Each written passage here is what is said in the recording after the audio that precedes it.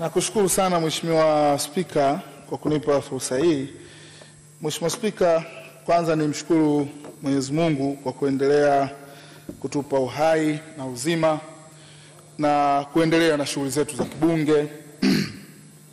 Mheshimiwa Spika, mimi nataka nizungumze kwenye maeneo mawili ama matatu. Kwanza, uh, nimewasikia wenzangu wakisema juu ya umeme. Mheshimiwa Chegeni ametaja mpaka vijiji. Mheshimiwa Spika, nilisema siku ya Wizara ya eh, Nishati kwamba vijiji elfu nane vilivyopelekwa katika kipindi hiki cha awamu ya tano ya Rais Magufuli, sisi watu wa Mchinga hatujapata hata kijiji kimoja. Kwa hiyo Mheshimiwa Waziri wa Fedha, ninaomba sana uteki na ulipe kwenye rekodi vijiji kadhaa tulivyopata umeme pale Mchinga ni vile vile alivyoviacha Mheshimiwa Rais Kikwete. Mpaka sasa awamu ya tano, leo mwaka wa tano, haijatuletea umeme kwenye kijiji chochote jimbo la Mchinga. Kwa hiyo Mheshimiwa, kwa kuwa wewe ndo waziri wa fedha na ndo unaidhinisha fedha, jaribu kumsukuma waziri wa nishati atupelekee umeme kwenye vijiji ambavyo mara zote vimekuwa vikiingia kwenye mpango, kijiji cha Dimba, Luvu na Mkongo, eh, Matapwa na, na, na kijiji cha Mputwa. Mheshimiwa, Mheshimiwa Spika, nizungumzie juu ya swala la uh, kuongeza tax base. Uh, sisi ukanda wa Pwani tuna zao ambalo kwa sasa linakuja kwa kasi sana, zao la mwani na linalimwa karibu ukanda wote wa bahari kuanzia Tanga mpaka kufika Mtwara. Na katika jimbo la Mchinga wananchi wameitikia wito kwa kiwango kikubwa sana, na kwa bahati nzuri zao hili wakulima wake wakubwa ni wanawake, ndio wakulima wakubwa wa zao la mwani. Sasa Mheshimiwa Spika, kwanza kumekuwa na contradiction ya kikodi, kwa sababu nature ya zao lenyewe unaweza ukiliona linaweza likaingia kwenye kilimo kwa sababu ni kama majani, lakini pia lenyewe linalimwa baharini, maanake liko kwenye wizara ya uvuvi na anayeshughulikia ni katibu mkuu anayeshughulikia masuala ya uvuvi. Sasa ningeomba wasafirishaji wa mwani wanapotoka kwenye maeneo yale wanayonunua mwani wanakutana na kodi ambazo zingine walishazilipa, yaani watu wa uvuvi wanawatoza kodi zao wakamalizana nao Ukija tena huku watu wa kilimo na wenyewe kwa kushirikiana na halmashauri wanatoza kodi tena, kitu iko kimoja kinatozwa kodi na wizara mbili. Sasa mheshimiwa, na hii ni kwa sababu gani? Ni kwa sababu wizara ya fedha hamjaiwekea kwenye sera na mipango kama ni zao ambalo linaweza likachochea uchumi kwenye nchi.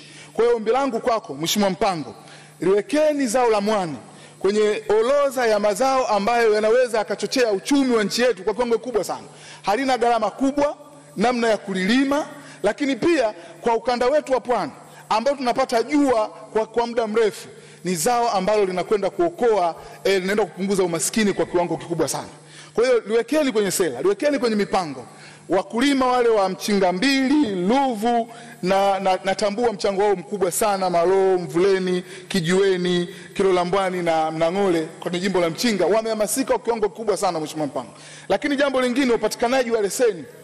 Leseni za ununuzi umekuwa ni mgumu, na jambo hili linapelekea wale matajiri kushusha bei, na hivi sasa bei yake ni shilingi elfu moja mpaka shilingi elfu moja na mia tano kwa kilo moja, lakini upatikanaji wake ni mgumu sana. Kwa hiyo Mheshimiwa, ningeomba mkiliweka kwenye mpango sasa hivi, namna lilivyo ni kama swala la halmashauri na wizara ya mifugo, wizara ya kilimo, wizara ya fedha, kwa maana wizara ya fedha sijaona intervention ya kutosha kuweza kuregulate zile sera ambazo zingeweza zikapunguza hizo kodi ambazo zipo. Jambo lingine Mheshimiwa Spika ni kuhusu swala la uh, athari za korona kwenye uchumi. Mheshimiwa Spika, ni jambo la kawaida na kila mtu anajua mwenye akili timamu kwamba korona italeta madhara makubwa sana katika uchumi wetu, na niwapongeze sana Benki Kuu kwa hatua walizochukua.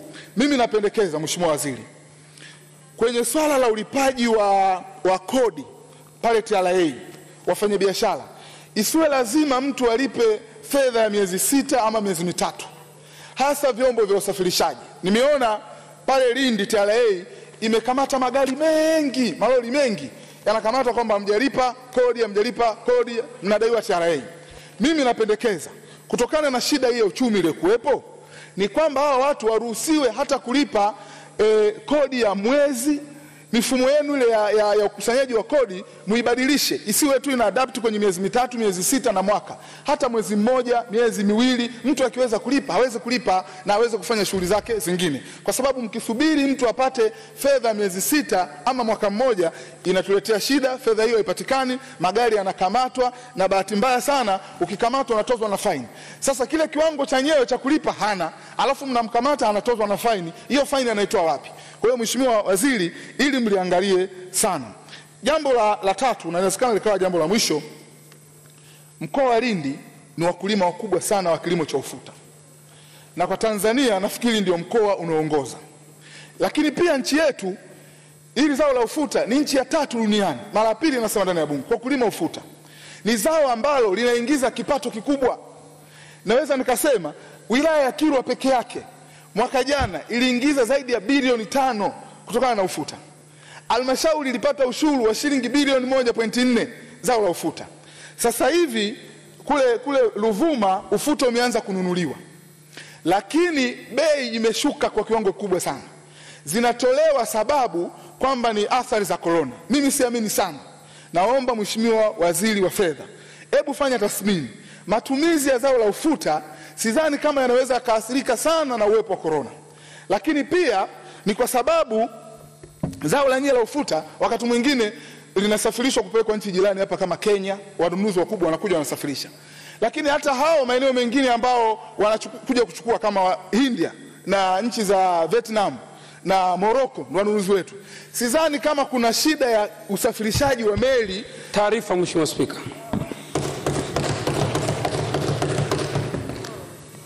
Taarifa. Mheshimiwa Spika. Mheshimiwa Bobali, pokea taarifa tafadhali.